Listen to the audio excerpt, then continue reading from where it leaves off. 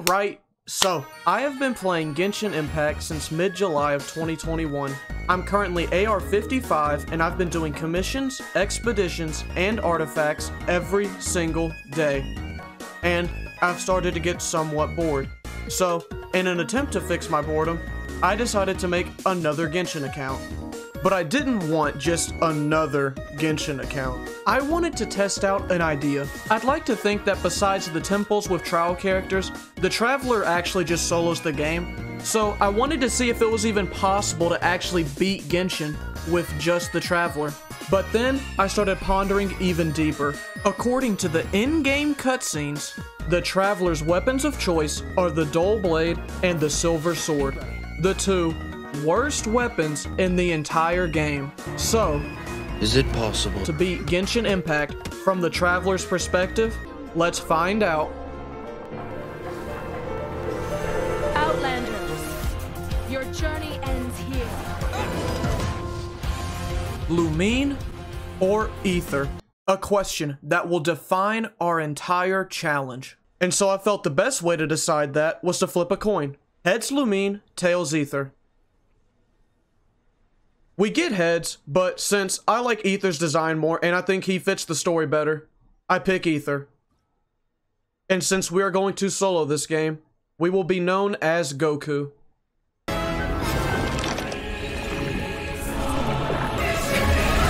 Wait! Don't go!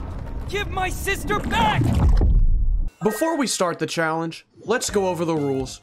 First rule, we can only use the main character. Trial characters will be allowed because I think they fit the story and you cannot progress in certain dungeons without them. But for the outside world, we are only allowed to use the main character. Second rule, we can only use the Dull Blade and the silver sword. Third rule, no co-op. The main character doesn't have people randomly transport into his world to help him, so why should we? Fourth rule. We can only use the corresponding element for each region until that region's Archon quest is complete. So, for example, I cannot use Geo Traveler at all in Mondstadt until I beat the Mondstadt Archon quest. I already have the Liyue portion recorded, and it follows the same rules I've established here. So, if there are any other rules you'd like to see be added, comment them down below. And hey, while you're already down there, why not subscribe if you're enjoying the video? We start our journey and open our first chest. A reward on the road. I heard that a lot of times. We equip our first artifact and level up our prized possession. We explore a little bit longer and trigger the cutscene from beneath the actual objective point somehow. And we get to see the big cinematic moment.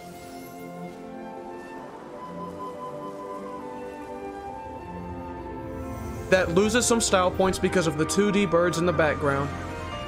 We start the main quest line for Mondstadt, obtain the power of the Anemo, and test out our new skills.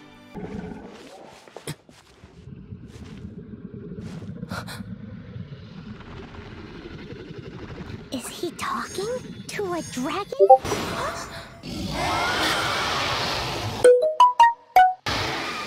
We pick up the crystal that the dog left behind and head outside of the forest. Outside the forest, we meet Amber and we get to say the funny line.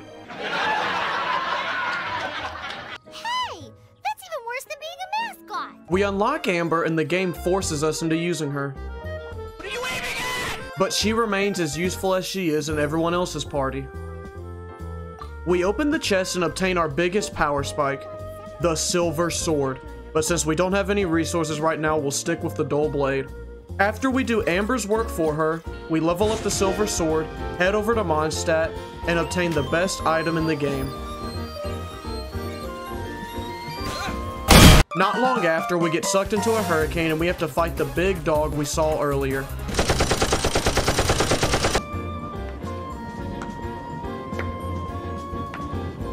You've actually got the power. We head into the Knights of Favonius' headquarters and find out about the three temples we need to enter in order to weaken Storm Terror. But more importantly, we unlock wishes.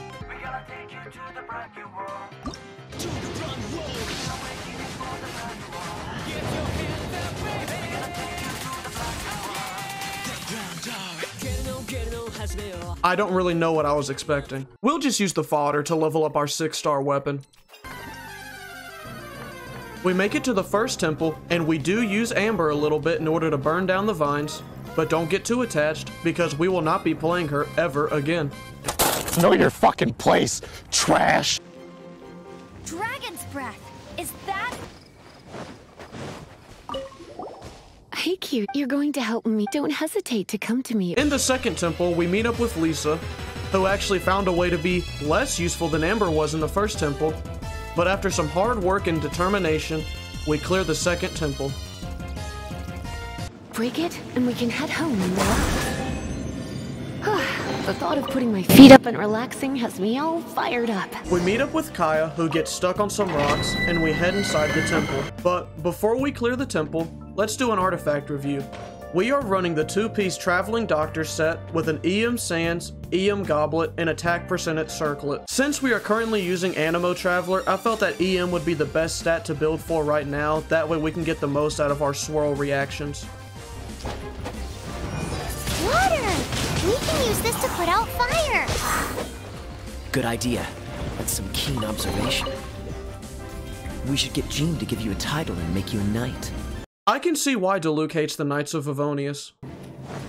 Seems probable. After leaving the temple, we get AR locked out of the next Archon quest, so we have to head out to gain some more experience. We big brain the Ice Pillar puzzle, fight our first Abyss Mage, and then we move on to the second worst enemy in this entire challenge. The Eye of the Storm. I would rather have a baseball be thrown at my Adam's apple than fight the Eye of the Storm ever again. Once we hit Adventure Rank 10, we head back to HQ and are given the title of Honorary Knight of Favonius which, looking back at the water conversation, does not seem like much praise. We head outside to look for the femboy. Eventually, we find him at the Windrise tree. He tells us that Storm Terror's real name is Dvalin and that the Anemo Archon has been away from Mondstadt for a very long time. But we are then interrupted by another Eye of the Storm. So you know what that means. After two days, we defeat the Eye of the Storm and continue talking to the Bard. He says he was helping Dvalin with the curse and that he would have cured him if we didn't interrupt him. So, in order to pay him back, we have to go to the church to take the Holy Lyre. We sneak into the basement using stealth mechanics that would make the Batman Arkham series cry, and we find the Holy Lyre.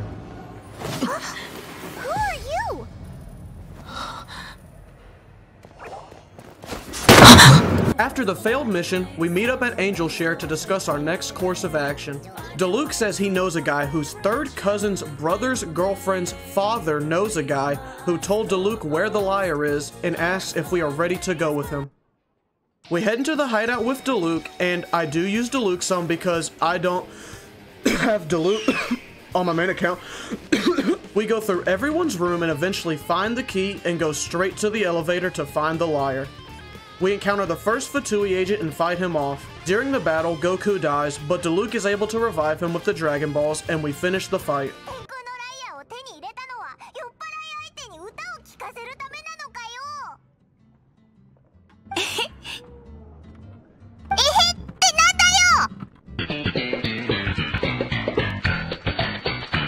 On the way to the next objective, I stopped to do one of my dailies one of which included a shield enemy that took way longer than it should have to kill. We make it to the first location of Dvalin's Tears, but we have to go through a Ruin Guard first. Was the fight long? Yes. Was it fun having 20 being the highest damage number? No. Was it more enjoyable than fighting the Eye of the Storm? Yes. We make our way to the second tier and proceed to walk past all of the enemies. But, since I was curious about the three barrier side quest in Da Dwapa Gorge, I decided to fight all the mobs here. but, tragedy struck. Goku had fallen in battle. But Goku got back up like always and surpassed his limits. And by combining the forces of Anemo and fire from a pot, we deleted the first barrier seal. But we can't do the other ones right now because it's simply not possible. Why isn't it possible? It's just not. Why not, you stupid bastard? We can't do the other ones right now because they require cryo and electro, but I'll see what I can do, and if I'm able to accomplish it, I'll let you know in the future. But you gotta subscribe in order to see it, I'm sorry. I don't make the rules. After that side quest, we head to the location of the last tier and walk straight past the Eye of the Storm because no. We go through the dungeon, the old same old same old. The only big thing of note is that our lack of damage is really starting to show on the large slimes. We make it to the second to last floor and clear out those enemies, and then a Pyro Abyss Mage shows up. Normally it takes about an hour and 33 minutes to take down an elemental shield, but since there's water nearby, we are successfully able to make the Pyro Abyss Mage wet and obtain the last tier. We meet up with the gang at the Dawn Winery, purify the crystals, and repair the Holy Lyre. Then we head up to the best suicide cliff in the game and listen to Venti sing Dvalin's song.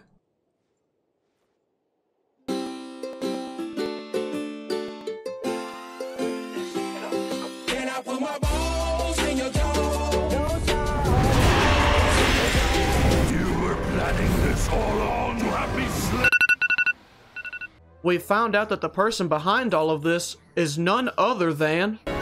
We get AR gated again, but that's okay because we can unlock a lot more things now. The first of which being our first constellation, which makes us Budget Jean. We can then buy our second constellation, which is in fact a constellation. After that, we collect our ascension materials and max Goku and our silver sword up to level 40.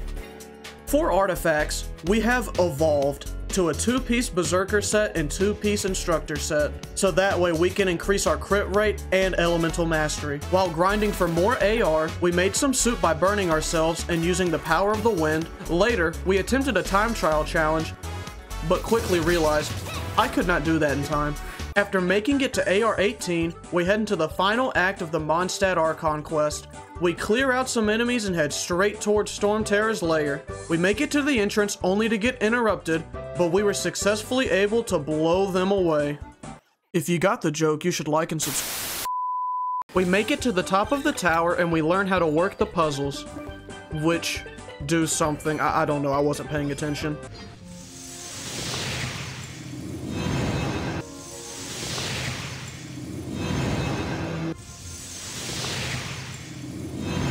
After one last team meeting, we set off for the final battle with Dvalin.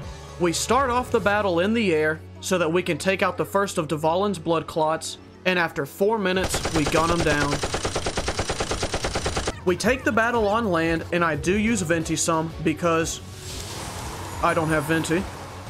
After two weeks, our chance! our chance shows up and we successfully calm down Dvalin.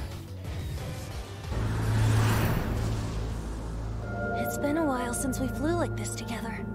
Huh, Dvalin? We head back to the church and give the Holy Lyre back to Barbara. Uh, uh, uh, the Holy Lyre! She gets upset and Venti fixes the lyre, and we angrily chase after him for some reason.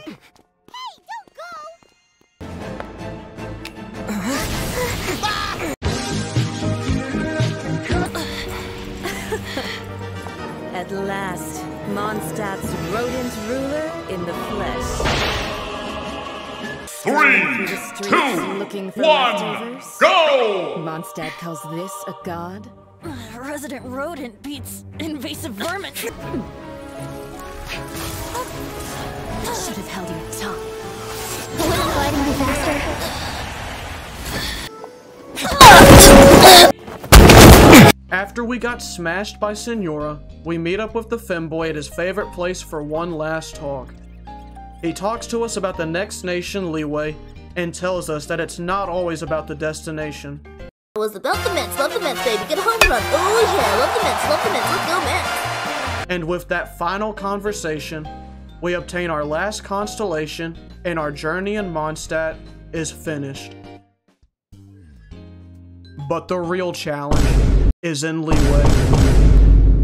Hey everyone, thank you for watching the video. I really hope you enjoyed it. I know this video is very different from everything else I've posted so far, so if you made it this far, I appreciate you. The actual Genshin video is over. I'm just gonna take some time here to thank you guys and tell you about the future of this channel. First off, we recently hit 100 subscribers, which is honestly amazing. I never expected any of this. I'm just a bored college student who wanted to make some videos. And it's actually crazy to think that over a hundred of you guys want to see more of these stupid videos from me. I enjoy reading your comments and responding to them. I usually read them during class and breaks at work, editing, and when I first wake up. So thank you all for your comments. And even if you didn't comment on those videos, I still thank you for even watching them. So here is where we are at right now. I'm currently a sophomore in college, I work a part-time job at a sorority house, and I make YouTube videos. But there's some good news and bad news. Bad news is that both the college and job are big time commitments. My days usually look like this. I wake up at 6 o'clock, go to campus at 7.20, stay there until 3.30 to go to work, and come home at 6.30. So I'm really only able to get footage and edit from this time span. But here's the good news. I am currently finished with my finals for the semester and my job is only open when the school is open. So, I get to use this chance to make more videos. I already have some videos planned out, some of which involve the microphone because I paid $120 for this mic. I'm gonna use it. I would like to have the Liyue video out by mid-January, the Liyue portion took me about 13 hours of gameplay to get, and I've trimmed it down so far to about an hour of footage, but I still have to write a script, do more trimming, and edit the video, so that's probably gonna be a while. But yeah, that's it for the video. Hopefully I'll see you guys later, and drive safe. So